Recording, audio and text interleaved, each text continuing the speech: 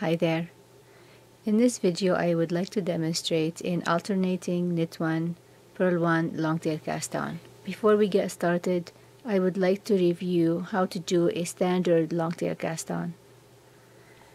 With the with the ball yarn over your index finger and the tail yarn over your thumb you'd place your needle under the yarn and this is how you would work it.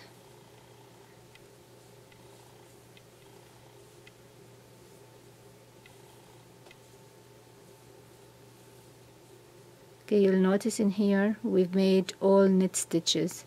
It looks like a knit stitch. To work an alternating knit 1 purl 1, then, so let's assume here our first stitch is a knit stitch. Then our next stitch has to be a purl stitch. Then we would go behind our index finger, grab that loop, and bring the thumb loop through it. You'll notice here I held on to this loop over the yarn, uh, over the needle throughout the whole entire process. And that is needed because if you let go of it, then it will come apart. So just remember to do so as you're working your purl stitch. So now we've got a knit stitch and a purl stitch and we're ready to make a, purl, uh, a knit stitch again. So we would do it like this then we would work our next purl stitch like this. Knit purl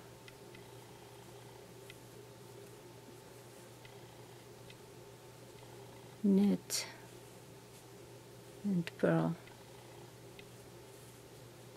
one more time. Knit and purl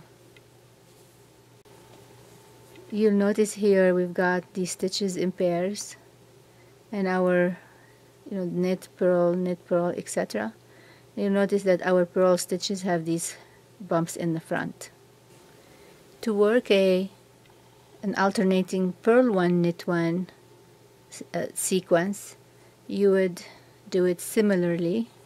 You place your yarn under the, the needle under your yarn and then this first loop then becomes the purl stitch. Then you would do a knit stitch. Then you would begin the sequence with purl knit. Purl